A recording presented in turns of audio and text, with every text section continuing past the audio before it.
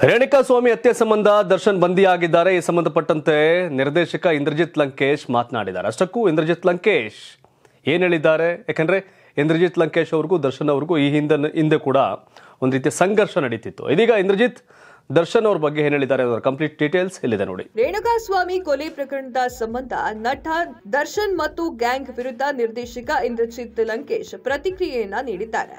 ರೇಣುಕಾಸ್ವಾಮಿ ಕೊಲೆ ಪ್ರಕರಣವನ್ನ ಇಡೀ ಚಿತ್ರರಂಗ ಖಂಡಿಸಲೇಬೇಕು. ಯಾರು ಕೊಲೆ ಮಾಡಿದ್ದಾರೋ ಅವರಿಗೆ ಶಿಕ್ಷೆಯಲ್ಲ, ದೊಡ್ಡ ಶಿಕ್ಷೆ ಆಗಬೇಕು. ನಾನು ಚಿತ್ರರಂಗದ ಧ್ವನಿಯಾಗಿ ಹೇಳ್ತಾ ಇದ್ದೀನಿ. ಆರೋಪಿಗಳಿಗೆ ಶಿಕ್ಷೆ ಆಗಬೇಕು ಅಂತ ಚಿತ್ರ ನಿರ್ದೇಶಕ ಇಂದ್ರಜಿತ್ ಲಂಕೇಶ್ ಅವರು ಹೇಳಿಕೆಯನ್ನ ನೀಡಿದ್ದಾರೆ. ಮಾಧ್ಯಮದೊಂದಿಗೆ ಮಾತನಾಡಿದ ಇವರು, ರೇಣುಕಾಸ್ವಾಮಿ ಕೊಲೆ ಕೇಸ್ ಹೊರಗಡೆ ಬಂದಿದ್ದೆ ಪತ್ರಕರ್ತರಿಂದ. ಮಾಧ್ಯಮದವರ ಮೇಲೆ ಹಲ್ಲೆ ಮಾಡುವುದು ಸರಿಯಲ್ಲ, ಪತ್ರಕರ್ತರ ಮೇಲೆ ಯಾಕೆ ಹಲ್ಲೆ ಮಾಡ್ತೀರಾ? ಪತ್ರಕರ್ತರು ಇರದೆ ಹೋದ್ರೆ ಈ ಕೇಸ್ ಕೂಡ ಕಸದ ಬುಟ್ಟಿಗೆ ಹೋಗ್ತಾ ಇತ್ತು. ಪತ್ರಕರ್ತರಿಗೆ ಸರ್ಕಾರ ಸೇಫ್ಟಿಯನ್ನ ಕೊಡಬೇಕು ಅಂತ ಆಗ್ರಹಿಸಿದ್ದಾರೆ. ಕೆಲವರಿಗೆ ಪ್ರಾಣ ಬೆದರಿಕೆಯನ್ನ ಹಾಕ್ತಾರೆ, ಸರ್ಕಾರ ಏನ್ ಮಾಡ್ತಾ ಇದೆ? ಸೈಬರ್ ಕ್ರೈಮ್ಗೆ ಇನ್ನಷ್ಟು ಶಕ್ತಿಯನ್ನ ಕೊಡಬೇಕು. ಯಾರೇ ಆಗಲಿ ರಾಜಮರ್ಯಾದೆಯನ್ನ ಕೊಡಬಾರ್ದು.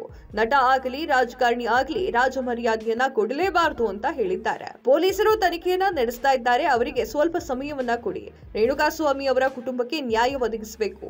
ಗೌರಿಯನ್ನ ಕಳೆದುಕೊಂಡು ನನಗೆ ಇನ್ನೂ ಕೂಡ ನ್ಯಾಯ ಸಿಕ್ಕಿಲ್ಲ. ಸರ್ಕಾರ ಅವರಿಗೆ ನ್ಯಾಯ ಕೊಡಿಸಬೇಕು. ಯಾರು ಕೊಲೆ ಮಾಡಿದ್ದಾರೆ ಅನ್ನೋದನ್ನ ಕಮಿಷನರ್ ಹೇಳಿದ ಕೂಡಲೇ ಪ್ರತಿಭಟನೆಯನ್ನ ಮಾಡೋಣ.